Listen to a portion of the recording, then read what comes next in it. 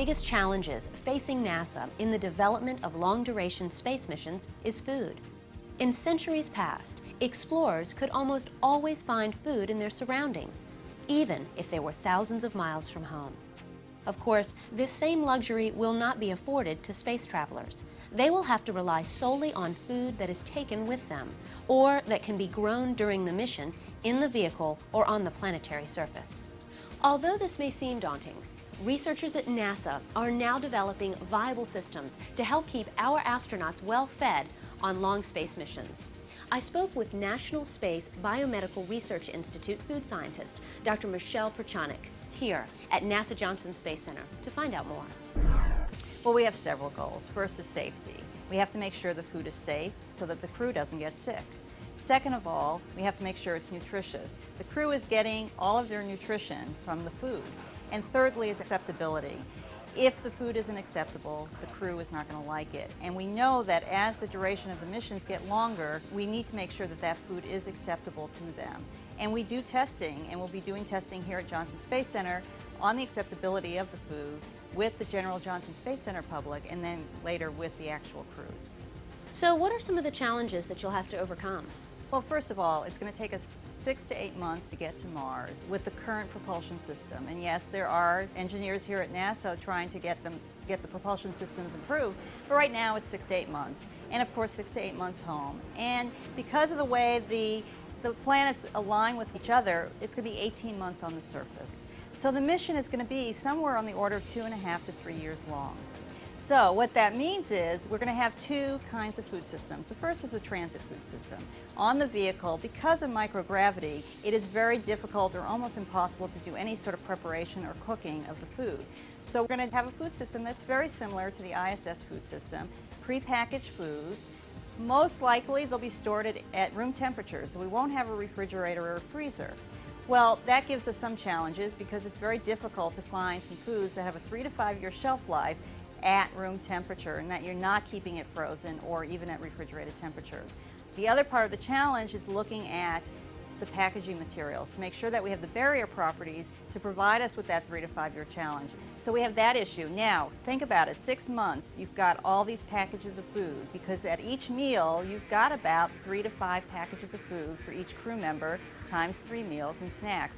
How do you store all this? Not only are you storing it at ambient or room temperatures, but you have to keep track of it. Inventory management and tracking and knowing where it is and how much you've used and when you've used it.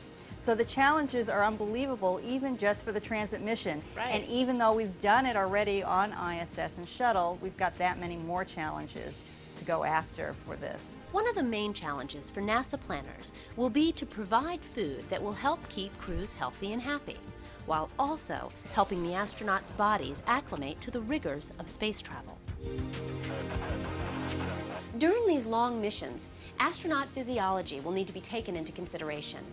The human body has adapted to the effects of gravity here on Earth. But once gravity is reduced, the body slowly begins to adapt to its new surroundings. During this adaptation process, weight loss, dehydration, constipation, electrolyte imbalance, bone loss, and a myriad of other problems may occur. To help prevent or alleviate many of these problems, researchers are investigating the levels of nutrients each astronaut may need. Proper diet and exercise should counteract many of the problems associated with the physiological changes.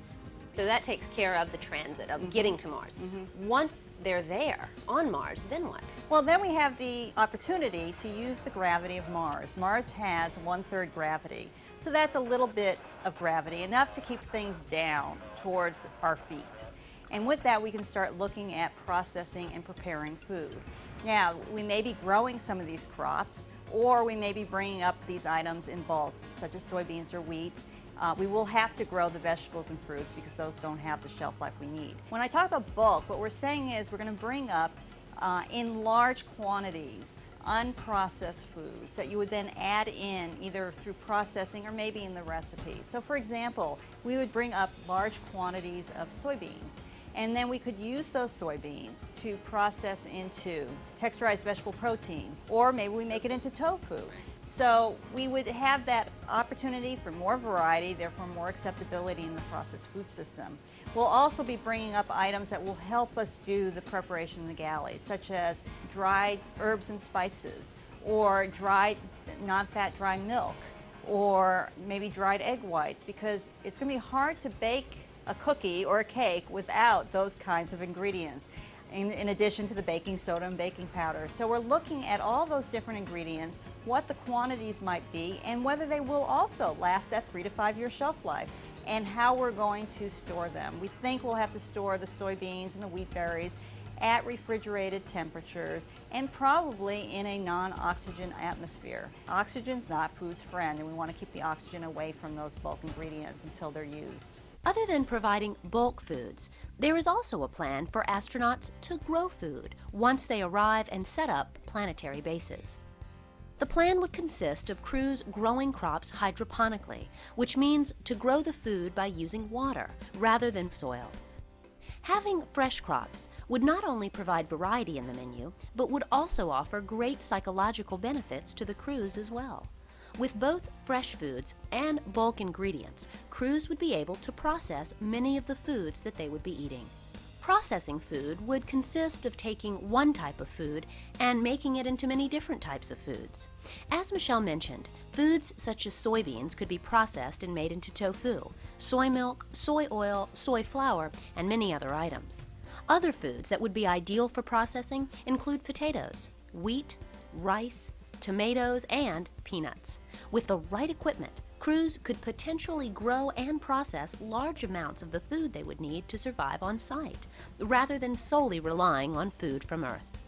Well, processing is, is not so hard down here, but now we need to worry about not bringing up too much weight, too much volume, and trying to be multifunctional with the equipment. For example, maybe a piece of equipment will not only make pasta, but it'll also mill wheat berries, and it may also make cereal for breakfast crew time is an issue. You don't want the crew to be spending all their time processing and preparing the foods because they want to be out there exploring and doing real science.